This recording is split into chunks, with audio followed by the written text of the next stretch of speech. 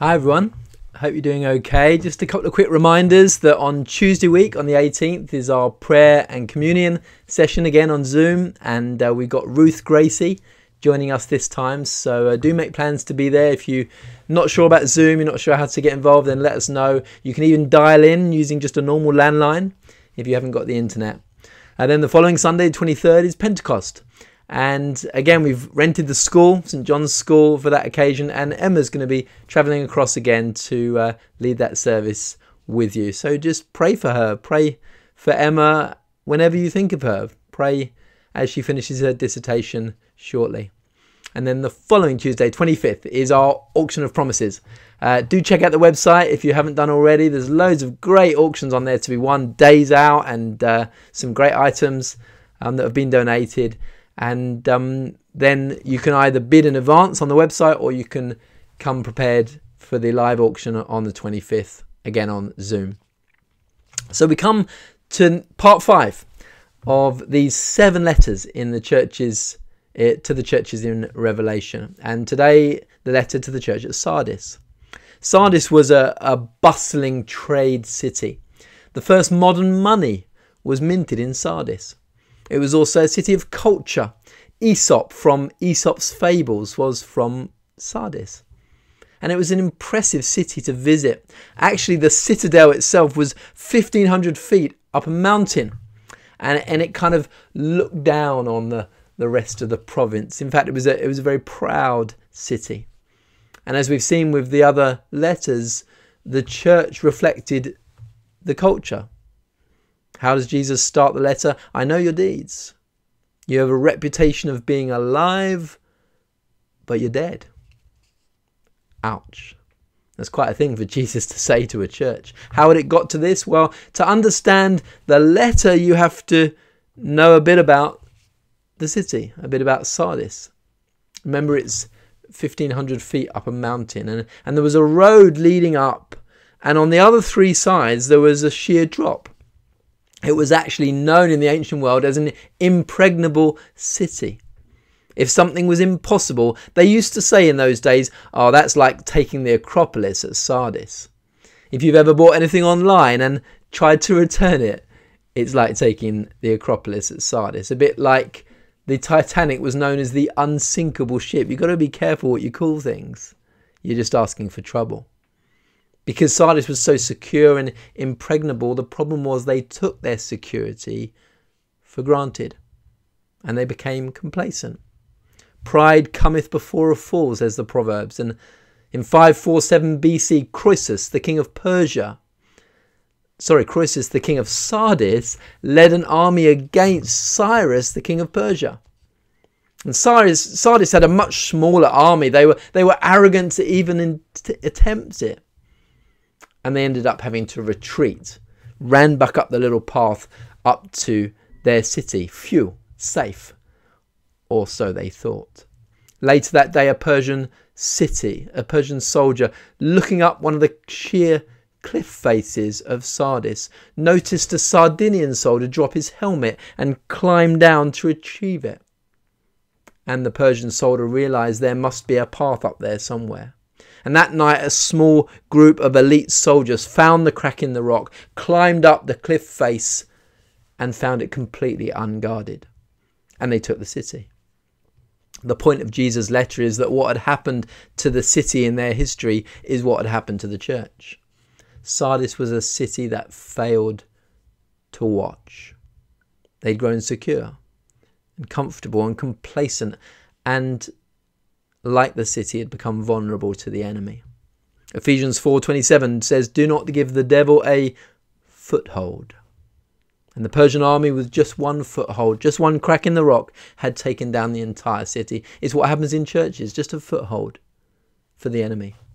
It's what happens with our Christian lives. Just allow the enemy a foothold and things start to crack. As Jesus had told his disciples in Matthew 26 41, watch and pray so that you won't fall into temptation, so that you won't allow a, a little crack in your armour for the devil to get in. You see, this letter makes no mention of false teachers. There's no Nicolaitans. There's no Jezebel this time. There's no persecution. And there's the key They were no longer a target for the devil because they were spiritually dead. It's when you're not being persecuted that you want to worry. And the church, like the city, had relied on its good name, on its reputation. They had been a strong church. But the thing about spiritual life is that it has to be renewed every morning. You can't rely on your faith from the past or an experience you had years ago. Sardis had a good name. No doubt they had the best preachers and the, the best musicians, but it was all just routine. They'd lost the life at the center, lost the sense of being hungry for God, for seeking the new things of God, of seeking Him in prayer, of being filled, going on being filled with the Holy Spirit and allowing it to overflow to the world. They'd lost God's heartbeat at the center as God had said through Isaiah in 29:13. These people come near to me with their mouth. They honor me with their lips, but their hearts are far from me. Ouch. Or as Jesus himself says in that most haunting verse, Matthew 7:21, many will say to me on that day, Lord, Lord, did we not prophesy in your name? And in your name drive out demons and perform miracles? And I will say to them plainly, I never knew you. I wonder how big the difference is between our reputation and our reality, between what others see and what God sees. I wonder which reputation we spend the most time nurturing. You know, 1 Samuel 16 7, when God chose the, the little shepherd boy to be the king. And what does he say? The Lord does not look at the things that man looks at. Man looks on the outward appearance. The Lord looks on the heart. And what's Jesus' advice to those who lost their spiritual life? Verse 2 Wake up, strengthen what's about to die, for I have not found your deeds complete in my sight. Remember what you have received, hold fast, and repent. So he gives four simple instructions to remedy the situation. Wake up, strengthen what's about to die, remember and repent. Firstly, wake up. Sometimes in life it feels like we're just going on autopilot. There's no surprises, no challenges, just mundane reality. But we've fallen asleep spiritually. Jesus says, Wake up. In other words, there's always hope, there's always more grace.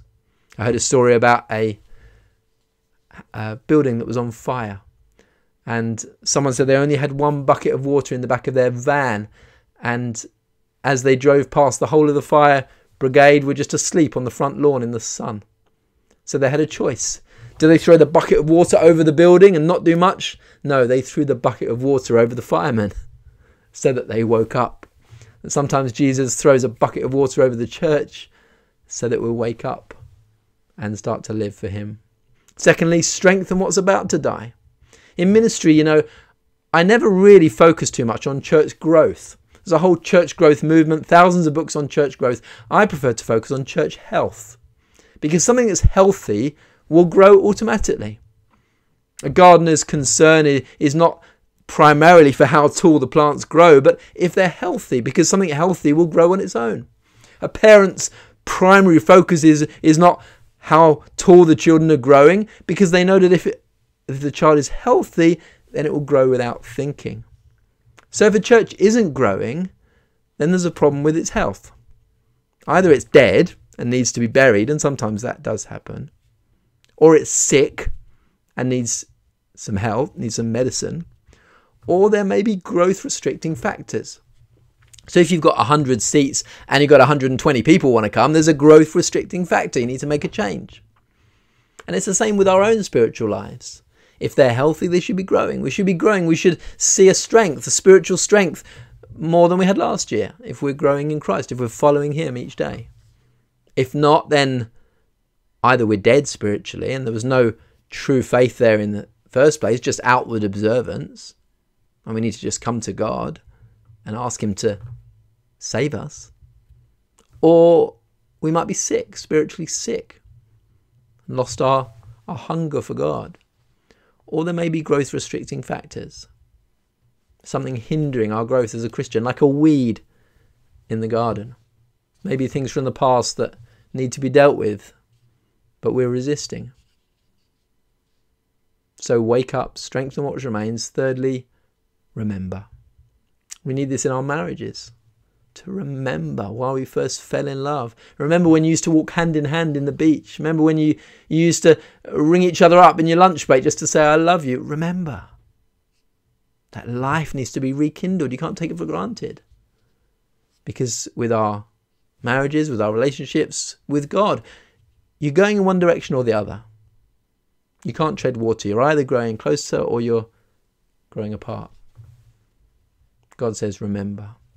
Do you remember when you were most committed to God? When you said, I'll go anywhere, I'll do anything for you, God. When you're at your most passionate, there's no reason why you can't have that sort of relationship again because faith is a gift. It's not something we have to muster up, it's something we have to be willing to receive. And He's waiting to fill us again. Do you want that? I'm not sure I do sometimes because it means being out of control, giving over control of our lives to God. And that's a bit scary.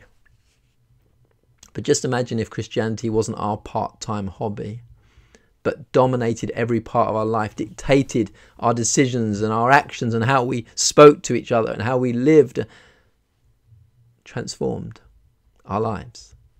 That's what Jesus wanted for the Christians at Sardis to remember when they'd first come to Him and, uh, and left family and, and, and given everything for Him before they slowly got comfortable and died on the inside. But just remembering is not enough. Verse 3 remember and what? Repent. You see, the biggest growth restricting factor in a church or in a Christian's life is sin. People come to me and they say, Oh, oh I just seem to have lost my faith. I, I'm not sure if I believe anymore.